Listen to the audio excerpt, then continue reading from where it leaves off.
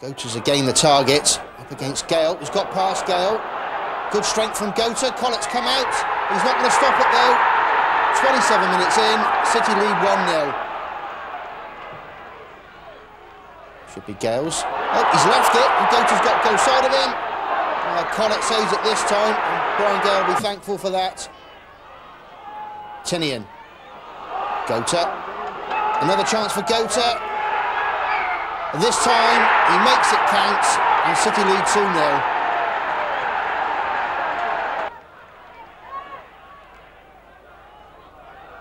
Goater again turns away. Oh, so nearly got his hat-trick, did Shaun Goater. Well, oh, Rovers desperately need an early reply here. They have a chance. City just can't clear it. Still not clear. Blocked. Hacked away in the end by Hewlett. That's a deeper ball. Tillson. And he's grabbed Rovers a lifeline with five minutes left.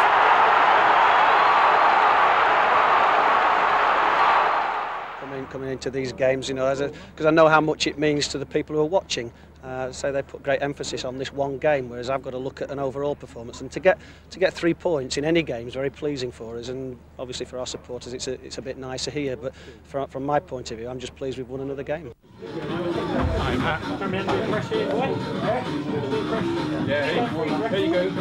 Yeah, it's a big game for us where both teams need to win, and hopefully we can get the win. That gets us to promotion obviously City's performance has been improving of late and uh, Rovers form dipping, but that doesn't usually mean a lot in these kind of games. How do you think you're going to play today? Yeah, it's going to be tough. Um, derby games don't really make any difference, and uh, as you say, the lads are in good spirits, and hopefully we can perform to the best of our ability and get a win. I'm just smiling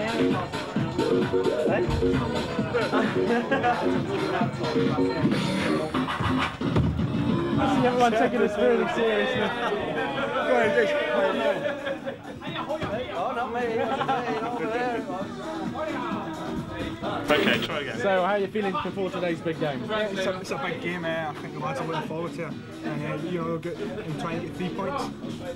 What he said was, uh, today is a really important game, and we really need to get three points. That's what he said. Thanks very much for that He one. scored 16 goals. Yeah. What he said was. Well, everyone at uh, Red Brick wishes everybody a real good time today, and another three points, and obviously another win over the Gas. Yeah, it'd be, good, it'd, be good, it'd be good to get three points, uh, especially over, over the gas.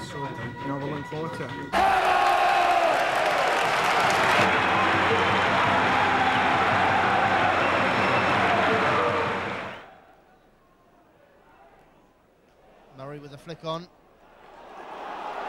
Gets it back from Torpey. Can Scott Murray get across? And he can. Goater's in to get a push. This time it's a penalty. And I don't think there's too much doubt about that. Pritchard protests his innocence. But I think that was a quite blatant push from Pritchard on Goater.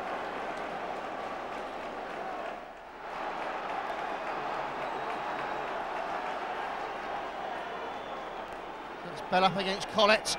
Can Mickey Bell make it count? He can! 35 minutes gone. And City up the lead 1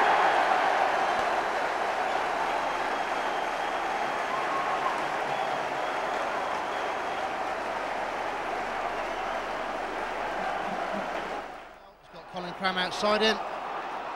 Cramb up against Pritchard. Makes a Yoda routes for the cross. Foster with the header. Edwards.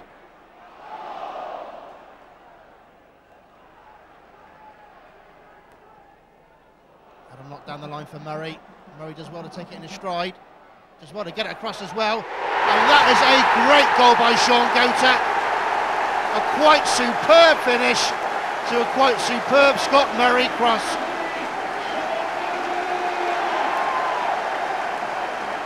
Fifty-eight minutes in, City lead 2-0. And as I said, that came about with some real determined play from Scott Murray. He did well to get on the end of the Adam Locke pass to start with, but even better to stop it going behind and then finish it off with a quite superb cross. And quite frankly, Shaun Goater does not miss those.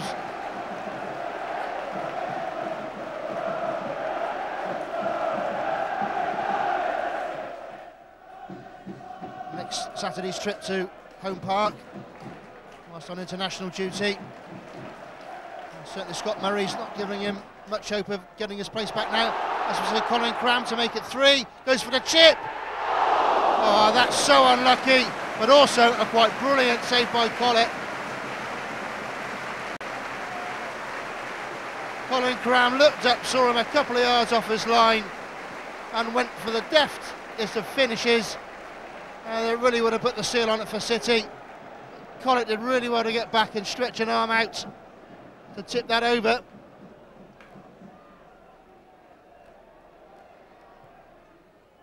Hewlett, that's too deep. Scott, we uh, spoke before the game. You said you were looking forward to your first Bristol derby. What did you think about it? I thought it was tremendous. I come out uh, just before the game and the atmosphere was unbelievable. And then as the game got on, it was just getting louder all the time. And then when we got the penalty and uh, Mickey stuck it away, I thought the roof was going to come off, to be honest. It was unbelievable. And then as we as we were going on, I think we were dominating the game. We've had more chances. They, have, they haven't really had a shot on goal. And then we've got the second goal. And I think I think Rovers knew it was over soon, as soon as that second goal went in. But I think, to be honest, I think they battled well. And uh, hope, hopefully for Bristol, I hope, I hope they got up in the playoffs, to be honest. Did you actually enjoy yourself? That's probably the main question. Oh, I loved it. I loved every minute of it. And in the end of the it, I was absolutely knackered. I couldn't even run. I think if I stayed on for a couple of minutes, I'd have been taking cramp all over. It was just, oh, it was unbelievable playing a derby. Hopefully, there'll be more of them.